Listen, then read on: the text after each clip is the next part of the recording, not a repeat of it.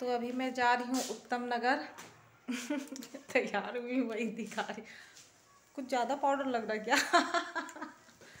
अरे आप लोग हंसोगे, इसलिए थोड़ा कॉमेडी बना लेते वैसे फ़ोन पे वैसा लगता है। तो मैं जा रही हूँ उत्तम नगर, बड़ी वाली बेटी के लिए। कुछ दिलाना है। चलो, दिखाती हूँ आप लोगों को। अगर टाइम मिला, मौका मिला तो शूट कर लूँगी। थोड़ा बहुत आप लोगों के साथ फिर शेयर करूँगी। तो बेटे को भी तैयार कर दी हूँ और कहीं जाना हो ना, उसी टाइम पे ठीक ये जीप परेशान करने लगता है। और कैमरा देख के बेटे की बदमाशी स्टार्ट है। देखो कैसा शक्ल बना रहा है। कभी कभी ना बच्चे ऐसे कर देते हैं। देखो कितना बदमाशी कर रहा है, कैसा फेस बना रहा है। और मैं लगी पड़ी उसके चैन लगाने में। इसके जैकेट का चैन ना जाम सा लग रहा है। हो ही नहीं रहा है। देखो लास्ट में फाइनली हो गया। हल्की फुल्की ठंड तो है अभी।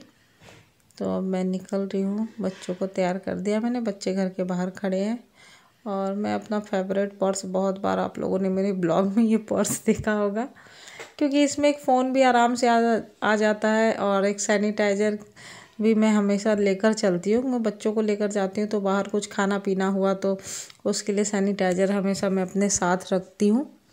और ये तो ज़रूरी है, फिर मैं गेट लॉक कर लूँ। अभी मैं यहाँ से अपने तीनों बच्चों को लेकर मैं उनके साथ हम रिक्शा में जाने वाले हैं। मैं रिक्शा में लेकर जाऊँगी उनको। और हस्बैंड वहीं से जहाँ पे जॉब पे गए हैं, काम पे गए हैं, वहीं से वो आ जाएँगे बाइक में। फिर आते वक्त भी हमने ऐसे किए। हस्बैंड के साथ बड़ी वाली बेटी बैठ के आ गई। और मैं दोनों छोटे बच्चों को रिक्शा में बैठा कर ले आई। यहाँ आते आते तो हमें थोड़ा लेट भी हो गया था। तो फिर लॉक हो चुका है और रिक्शा में बैठकर हम पहुँच गए हैं। ये शॉपिंग करने के लिए बच्चों के कपड़े। तो यहाँ से मैं कपड़े लेकर अब हम कपड़े जो ली हूँ, मैं आपको घर पे दिखाऊँगी चलकर, देखना आप। आ गए हैं स्वीट्स प्लेट्स तो आज शिवरात्रि है, शिवरात्रि। तो मेरा भी व्रत था तो मैं बस शाम के टाइम में मीठा मीठा खाई थी। दिन को तो फ्रूट वगैरह प्रसाद खा ली थी। तो वही मैं मीठा ही ऑर्डर कर रही दूध वाली चीज़ें, छेना वाला मीठा हम खा सकते हैं। तो इसीलिए मैं ये राजभोग हमारे घर में बहुत पसंद है सबको। एक प्लेन छेना वाली रसगुल्ले थे और एक केसर वाला जो होता है ना, उसी को राजभोग बोलते हैं। तो वो ले आई और देखो भीड़ भी कितनी थी। सब वेट कर रहे हैं अपनी बारी का। तो पहले टोकन लेना पड़ता है, फिर वहाँ से पैक कराना पड़ता है। तो मैंने देखो क्या हो रहा है।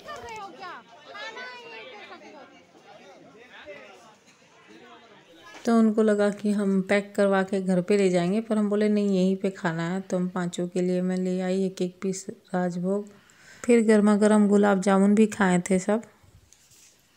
घर आ चुकी हूँ, थक गई हूँ, बहुत ज़्यादा, निकले थे हम साढ़े छः बजे, और घर आते आते टाइम कितना हो गया, मैं तो देखी भी नहीं। हाँ साढ़े नौ हो गया है, और एक बच्चे के चक्कर में तीनों बच्चे के कपड़े आ गए अब फ्रेश होंगी।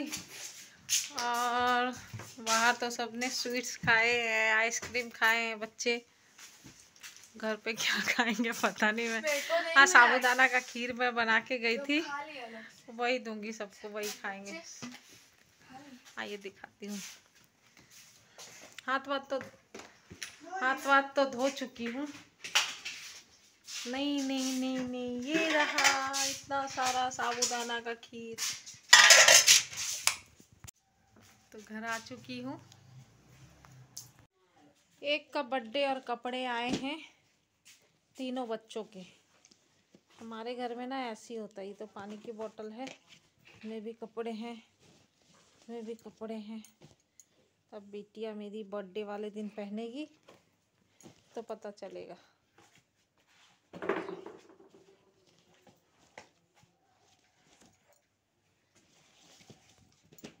आप लोगों से बातें कर रही थी, इन लोगों को चैन नहीं है। बोले, हमारे कपड़े दिखाओ अपने फ्रेंड्स को। चलो, दिखाओ फिर। पूरा नहीं खोलना, ठीक है? ये पूरा निकाल दी ना देखो इसके फ्रॉक पूरा नीचे रख। ऐसे दिखा। देखो। हाँ। हाँ तुम्हारे भी कपड़े दिखा रही हूँ। इधर ला, यहाँ पे दिखाओ। सेट के साथ पूरा फुल दिखाओ। ये है, देखो इसके कपड़े, है ना?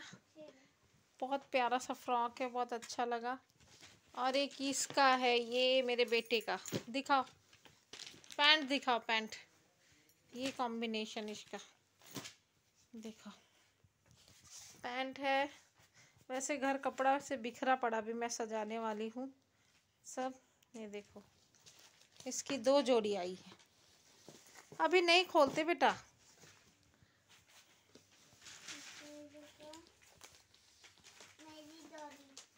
देख गया। है बर्थडे बर्थडे? तो अभी दीदी का है। दीदी के बर्थडे वाले दिन, दिन दीदी पहनेगी आप लोग अपने तब तक रखा रहेगा। चलो रख दो सबने देख लिया ठीक है? तुम्हारा और एक जोड़ी है ना इसके अंदर और भी है। स्वीट्स है थोड़े से।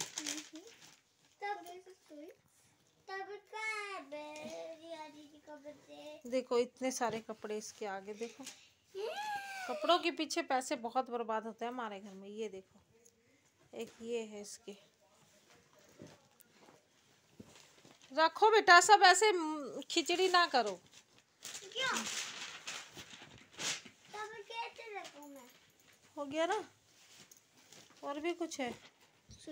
दीदी के कपड़े तो इसमें है दीदी जब पहनेगी। तब दिखाऊँ अभी दिखा दूँ नहीं। बाद में तो बच्चों की ना डिमांड होती है हम बाहर जाके बर्थडे मनाएँगे उनको अपने मम्मी पापा फैमिली के साथ मनाना होता है। अभी छोटी है इसीलिए हमारे साथ ही इंजॉय करती है ये। तो बर्थडे मनाना है तो हम लोग हमेशा इसको लेकर जाते हैं इसकी जो मर्ज़ी होती है। वो खाएगी बर्थडे सेलिब्रेशन हो गया इसका और क्या। यहाँ का केक बहुत ही टेस्टी होता है बहुत ही यम्मी केक। थोड़ा महँगा तो होता है ना, पर इतना अच्छा लगता है ना। बहुत वैरायटी की केक होती तो मेरी बेटी ने चोको चिप्स वाला केक ये पसंद किया था और साथ ही साथ हमने वहाँ पे नाम लिखा दिया। साथ ही साथ हो गया फ्रेश केक हमेशा होता है यहाँ पे और बहुत ही अच्छा लगता है। तो यहाँ पे फास्ट फ़ूड वगैरह भी मिलते हैं, जो आजकल के बच्चों को फास्ट फ़ूड तो बहुत ही पसंद आता है, जैसे कि आप लोगों को पता है। तो मेरी बेटी को भी बहुत पसंद है। पहले केक में लग गए, टूट पड़े हैं, सब एक प्यारा सा, छोटा सा केक अब थोड़ी देर में ख़त्म होने वाला है। तो हम पाँचों मिल के केक पे टूट पड़े हैं और केक जब तक खाकर ख़त्म किए, जब तक ये पिज़्ज़ा आ गया। पिज़्ज़ा भी मतलब इतनी वैरायटी थी ना वहाँ पे पिज़्ज़ा की।